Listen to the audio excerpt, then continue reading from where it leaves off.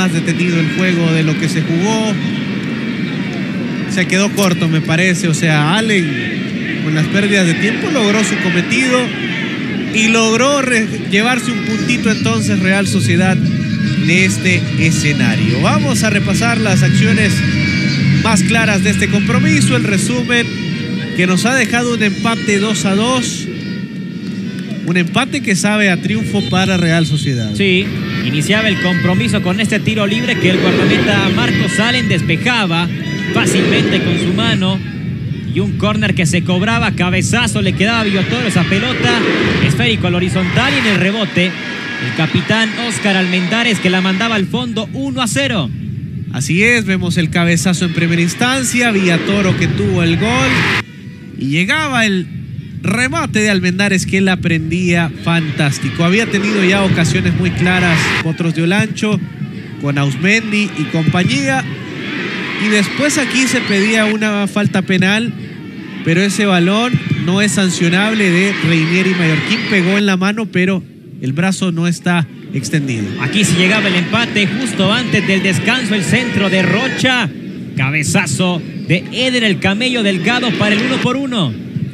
Estaba el partido igualado, así se iría el descanso uno a uno. Muy buena la anticipación por parte de Eder Delgado, conectando de forma cruzada. Así que sentía Potros que merecía más, que había tenido más ocasiones, pero el marcador marcaba la igualdad uno a uno. Seguían las acciones, segundo tiempo, el centro para Agustina Osmendi. El pistolero, primer minuto del complemento y le daba la ventaja a su equipo. Sí, buena la jugada de Ovidio Lanza que acababa de ingresar a la cancha. Oceguera es el que da la asistencia, se fue bien al ataque, lateral izquierdo, media vuelta y de zurda asistía. Ausmendi llegó a cinco goles y es el goleador de momento de este campeonato. Excelente lo de Ausmendi. En la primera parte había fallado varias ocasiones, aquí no perdonaba. Y la respuesta por parte de Dester Mónico, jugada individual, derechazo que se desviaba en Alan Cárcamo. La pelota al fondo, el empate 2 a 2. Sí, lo hacía muy bien en la individual Mónico. Se animaba a pegarle, ese balón se desviaba, quedaba afuera totalmente de la, de la acción Matías Quinteros. Igual y se podía tirar para la foto, ¿no? Pero sabía que no llegaba y quedaba clavado.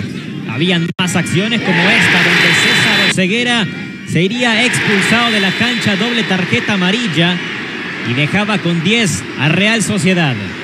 Sí, tenía Mario Martínez la posibilidad de tiro libre, no superó la barrera el disparo. 2 a 2 Real Sociedad iguala a Honduras Progreso en la tabla general, pero los arroceros reciben más tarde a Victoria. Sí, aproximadamente en una hora inicia ese compromiso. Ángel, nosotros nos vamos.